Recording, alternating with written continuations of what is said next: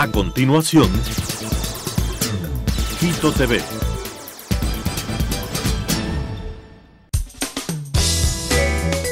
Clasificación A. Apto para todo público.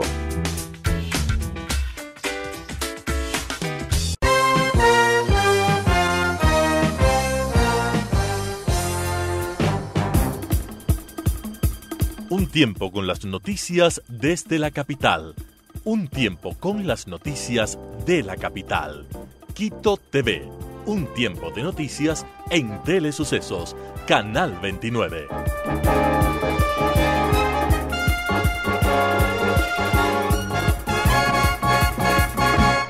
Bienvenidos a una emisión más del programa Quito TV. Este día nos acompaña el trompetista lojano Edgar Palacios, quien tiene un cúmulo de más de 90 producciones discográficas en las cuales ha registrado música nacional, latinoamericana, clásica, composiciones de su propia autoría, ha rescatado obras del acervo cultural ecuatoriano y sobre todo el rescate de obras de compositores lojanos. En 2011 publicó su libro Anecdatorio, Música, Palabra y Memoria. Ha realizado miles de conciertos en todo el Ecuador y varias partes del mundo, formando parte de recitales, conciertos y festivales nacionales. Este día nos da a conocer su disco Mi Música, Mi Trompeta, las obras musicales de su composición en la cual nos transmite sentimientos de nostalgia, de recuerdos, de anhelos, de alegría y sobre todo de amor, con la letra de reconocidos poetas y escritores ecuatorianos.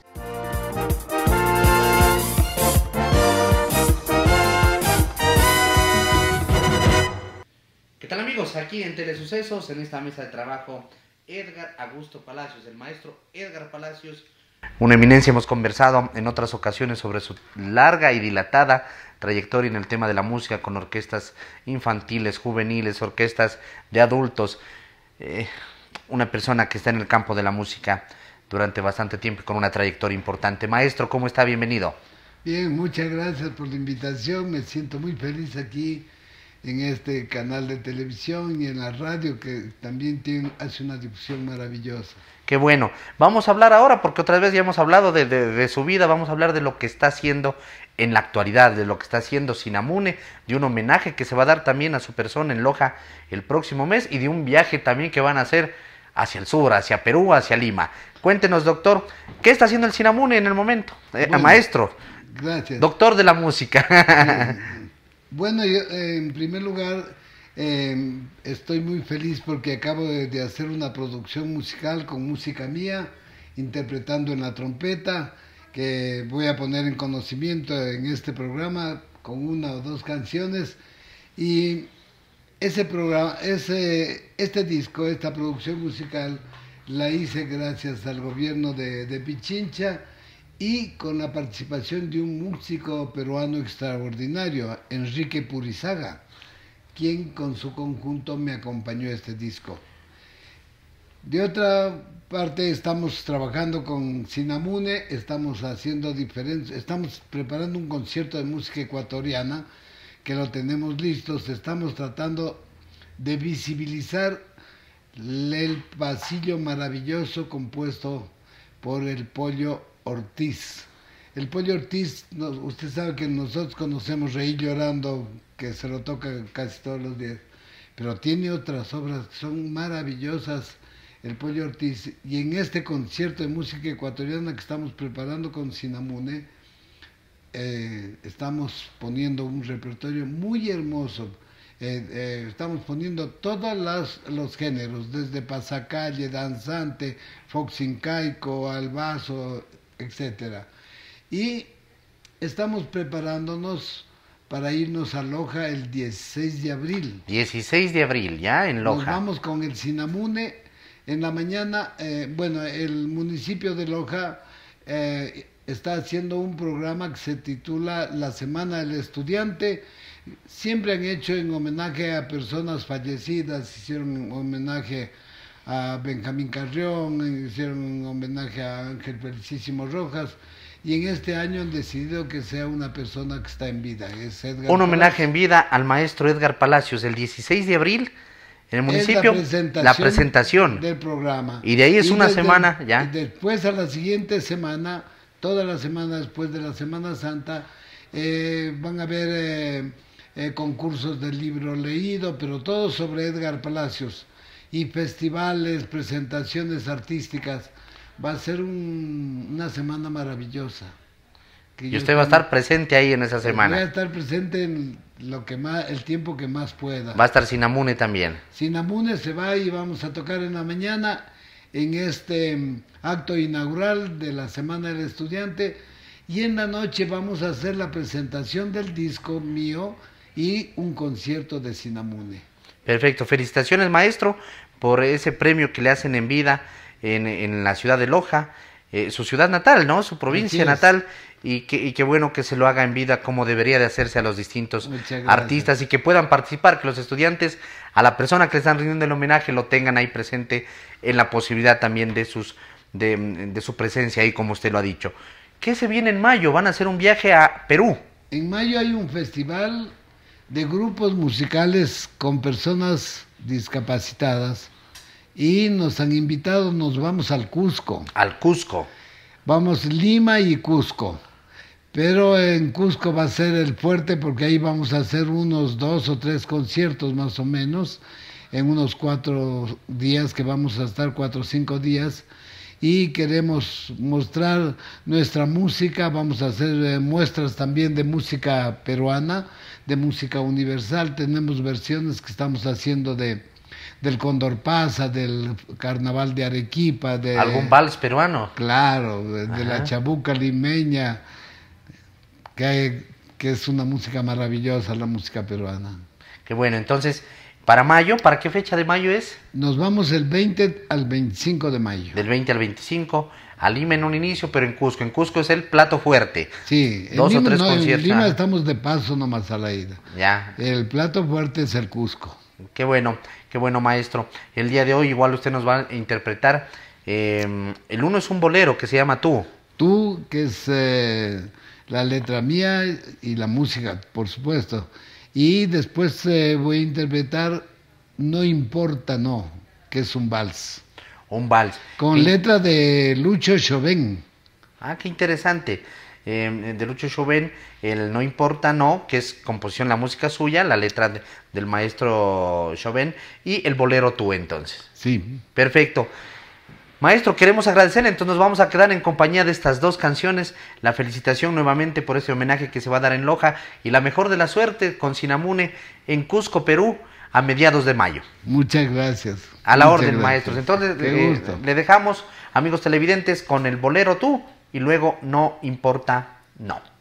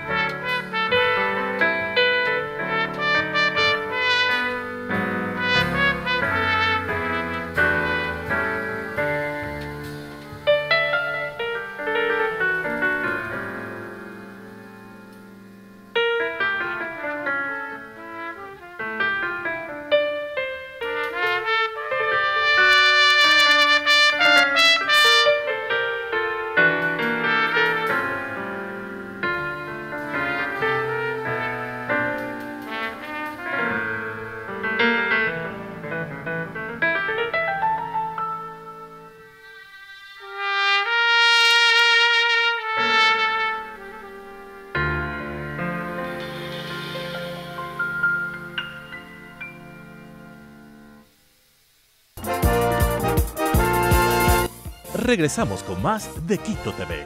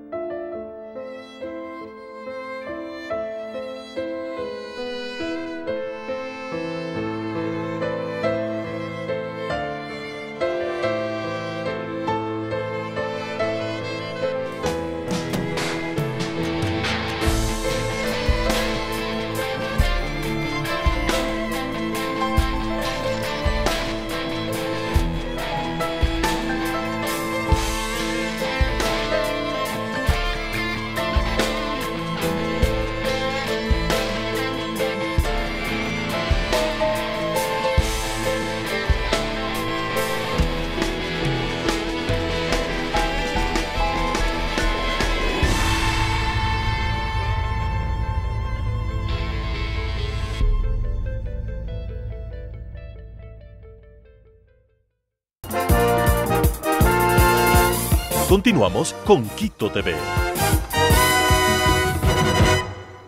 El síndrome de Down es una condición natural presente en la humanidad desde siempre. No hagas tú que sea diferente.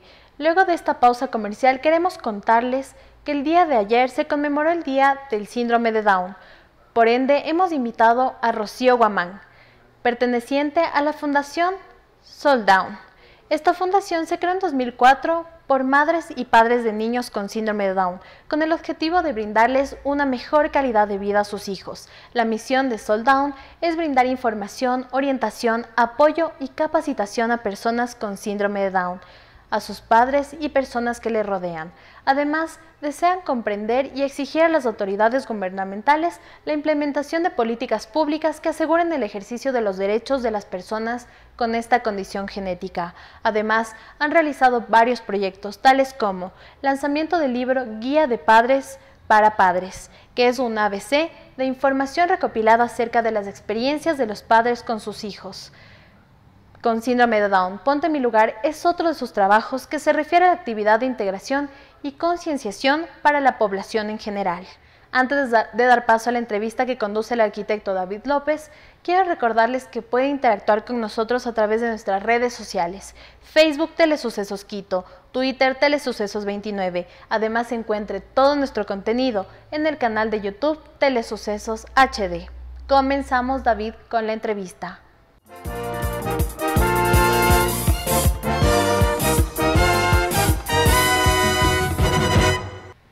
Amigos, estamos ahora de vuelta aquí en el espacio de entrevistas con Rocío Guamán, ella es una de las fundadoras de la Fundación Soul Down del Ecuador y estamos también con Melanie Moya y Sofi. Sofi, ¿cómo están? Bienvenidas, ¿cómo han pasado? ¿Cómo están?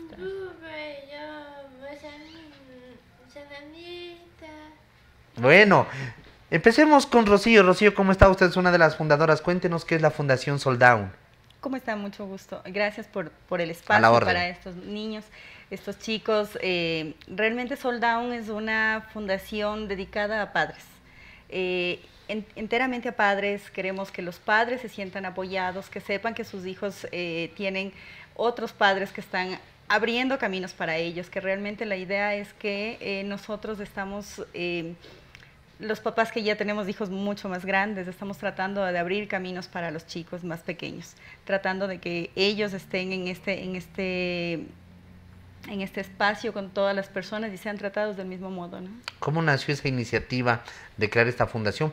Para padres, para ayuda a los padres, para que tengan la aceptación, como usted lo dijo, y luego esa ayuda la puedan transmitir a sus hijos. Bueno, la idea nació de cuatro madres de, de familia. Usted fue una de las fundadoras, sí, sí, Sí, estamos Liliana, Daisy, Celsa, que somos las cuatro personas que em, sentimos la necesidad, nos dimos cuenta que realmente nos sentíamos mejor y podíamos ayudar más a nuestros hijos una vez que eh, estábamos hablando entre nosotras. Entonces era mucho más fácil poder saber que las, que las necesidades de nuestros chicos no eran las mismas, pero podíamos estar juntas en esto. Así que sí decidimos que todos, que, que podíamos ayudar a más padres. Ahora trabajamos años después, hemos venido trabajando eh, con todo lo que implica esto, ¿no? Temporadas fuera, otra vez estamos juntas y tratamos de que esto siga adelante. ¿Cuál es el, sentimiento inicial que tiene un padre cuando sabe que su hijo es down? Creo que como todo, eh, es, eh, siempre nos comparan con el viaje a París y de pronto llegamos a Alemania y resulta que no era lo que esperábamos. Realmente es el hijo no esperado, pero sin embargo es, eh, hemos llegado, es otro niño más, es otro bebé más y es al que tenemos que ayudar. Nos demoramos más en que caminen, nos demoramos más en que hablen, pero lo hacen. ¿Tú tienes más hijos, Rocío? Tengo otra niña más. Ella es Down.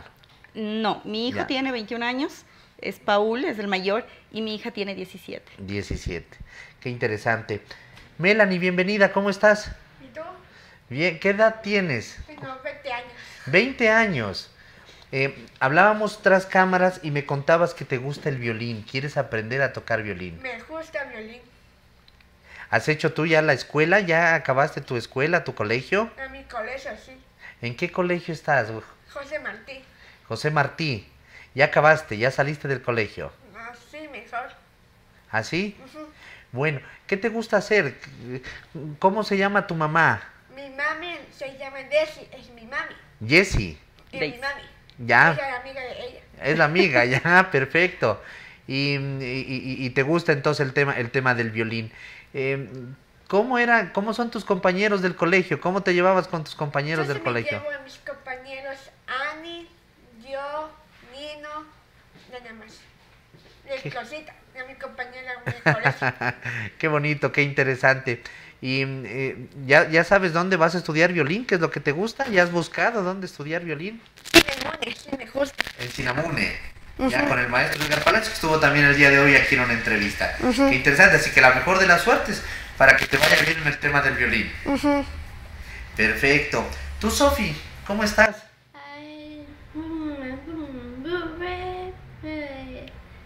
Yo fui a, a, mi casa, se llama una perra de coqui. Y, Tu perro se llama Coqui. Sí. Está la, mi hija, mi coca, mi hijita, de 13 años. Qué linda, muy bien. Em, Rocío, ustedes tienen varias campañas que están llevando a- adelante por parte de la Fundación Soldown. La una, el 21 de marzo, el Día Mundial del Síndrome de Down. Así es. Eh, hace varios años las Naciones Unidas eh, realmente declaró el 21 de marzo. El, eh, el síndrome de Down es un cromosoma adicional, es decir, que tenemos tres cromosomas en el 21. Así que por eso cogieron el 21 Ah, de marzo, de ahí, interesante. de ahí sale la fecha. Eh, y sí, realmente lo que tratamos es de, se- de sensibilizar a la gente, de sociabilizar el tema, de que la gente se, eh, se dé cuenta que realmente los- las personas con síndrome de Down están aquí, que deben ser tratadas igual, que deben ser tratadas eh, con mucho respeto al igual que otras personas. No son unos niños eternos. Realmente la idea es que no los vean como niños con Down, sino que muy, muy al contrario, son personas como todos, merecen respeto, merecen la consideración de absolutamente todos. ¿Cómo es la recepción que tienen ellos en, las distintas instituciones educativas? Eh, nos acaba de, de contar Melanie que salió del, del colegio José Martí. Eh, ¿Cómo se da eso? ¿Existe ahora una mayor aceptación, digamos, por parte de los estudiantes, de los profesores, de los directivos de las distintas instituciones?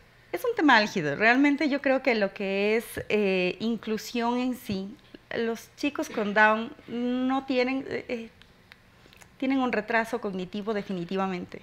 Entonces, eh, si bien la gente no está lista y preparada para tratar con ellos, sí hay mucha más amplitud. La, gente de los colegios los miran, ya, ya permiten que empiecen a entrar en los colegios. Es una edad difícil. Para cualquier persona el bullying está, está, está ahí, no se diga para una persona con síndrome de Down, eh, con sus discapacidades, con, su- con sus diferencias.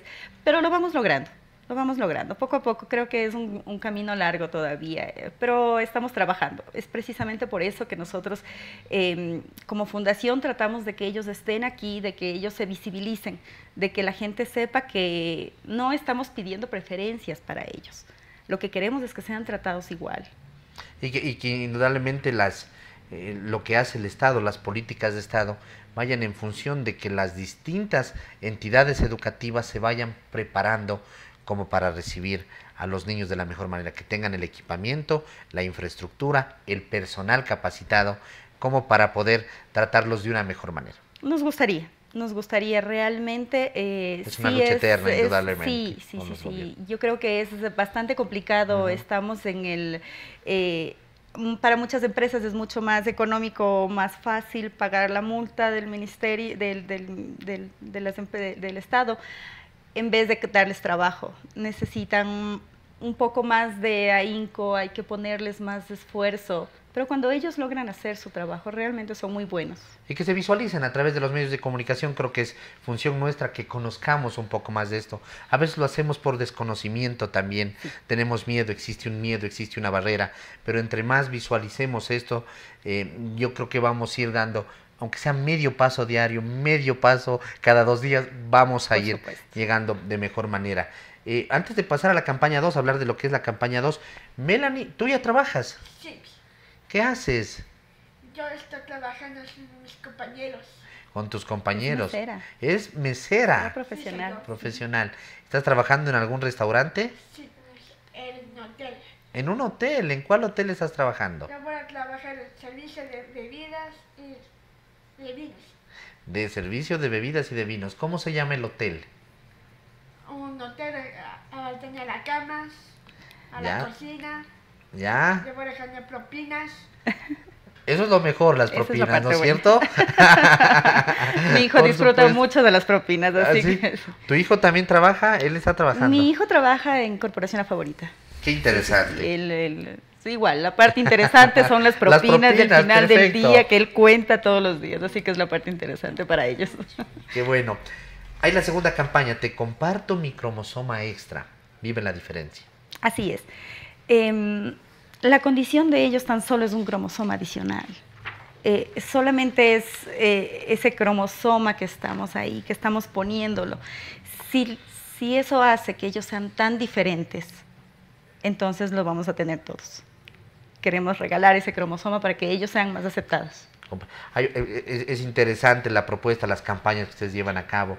Eh, van a hacer el lanzamiento del, libro también que se llama Guía de Padres para Padres. Así es. La idea Ese es un proyecto, lo están realizando. La tenemos casi lista. ¿Ya? Obviamente necesitamos financiamiento, obviamente necesitamos para poder imprimir y todo. La idea de esta guía es precisamente de lo que estábamos hablando, que el momento que un padre nuevo llega, porque para los chicos siempre, ¿no? Entonces ya empiezan que sí, que para acá, ándate, que llévalo a este lado. Y la ayuda para los chicos está. Queremos ayudar a los papás. Queremos que los papás sepan y digan qué voy a hacer, qué tengo que hacer con este pequeño. Es un mundo totalmente desconocido y queremos que eso sea mucho más fácil de sobrellevar. Indudablemente. El otro es Ponte en mi lugar, actividad de integración y concienciación para la población en general con el fin de que experimenten cómo las personas con distintas capacidades viven el día a día dentro de nuestra sociedad. La sociedad, la ciudad está preparada para los chicos con Down. Te pregunto a ti, porque tu hijo va, ¿cómo hace para ir a, Corporación La Favorita? Por, eh, toma el bus, tú le vas llevando, les recoges. La ciudad está preparada, la infraestructura de la ciudad no, eh, no está preparado. Hemos ido trabajando muchísimo con la ciudad para las personas con discapacidad física, pero con las personas con discapacidad mental es totalmente diferente. Eh, si tú lo ves en el bus, no sabes qué es lo que, cómo actuar con esa ah, persona. Estamos pensando en la rampa, en la infraestructura física, en el pasamanos, en esto, en este otro. Pero ¿y las personas con discapacidad física, mental, perdón? Las personas con discapacidad mental caminan perfecto en su mayoría, no tienen una discapacidad física en su mayoría, y sin embargo no sabemos qué hacer con ellos. Cuando uno de ellos sube, no saben si darles el asiento, si verles raros, si, si regresar, no regresar, nunca saben qué hacer, nunca sabemos qué, cómo actuar con una persona con discapacidad mental. Nuestros chicos tienen diferentes grados de discapacidad mental y lo que tratamos es que realmente sean más bien tratados de modo normal, si la, si la palabra cabe, pero realmente esa es la idea. Así es. Rocío, se nos ha acabado el tiempo, es una pena, pero de todas formas creo que ha sido importante conversar un ratito, conversar con ustedes. Muchísimas gracias. Entender el funcionamiento de lo que es la fundación, de lo que están haciendo, esos pasos pequeñitos que los dan día a día, pero que al fin y al cabo son pasos, que son pasos para adelante. Y la misión, la visión, las campañas que están realizando a cabo. Nos quedamos con los primeros Juegos Nacionales que también los van a realizar. También. Pero voy a dar a conocer lo que es redes sociales, el número de teléfono, porque muchos padres seguramente estarán interesados en compartir con ustedes, en pedir ayuda para el tema de los niños, de los chicos Down. El Twitter es arroba fundación soldown. Arroba yahoo.com. Ese es el correo, perdón, fundación soldown arroba yahoo.com. El número de teléfono 099-438-7017. Lo repito, 099-438-7017. Y en Facebook, Fundación Soldown. Estamos con las manos abiertas, con un corazón gigante realmente para esperar a todos los papás que deseen unirse a esta causa. Eh, el camino es largo, pero lo vamos haciendo. Queremos agradecerles mucho. a ustedes por el espacio también. Gracias, Rocío. Gracias. Melanie. Gracias, Sofi. Gracias por haber estado aquí. Les esperamos siempre, estamos a la orden. Gracias. a la orden. Amigos, ha sido Rocío Guamán, Melanie Moya, Sofía, Pin- eh, Sofía, ella le gusta la pintura a Sofía, son parte de la Fundación Soldown del Ecuador. Hasta la próxima, pasen bien.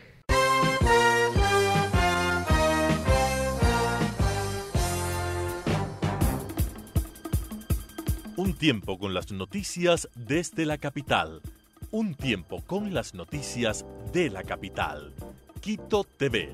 Un tiempo de noticias en Telesucesos, Canal 29.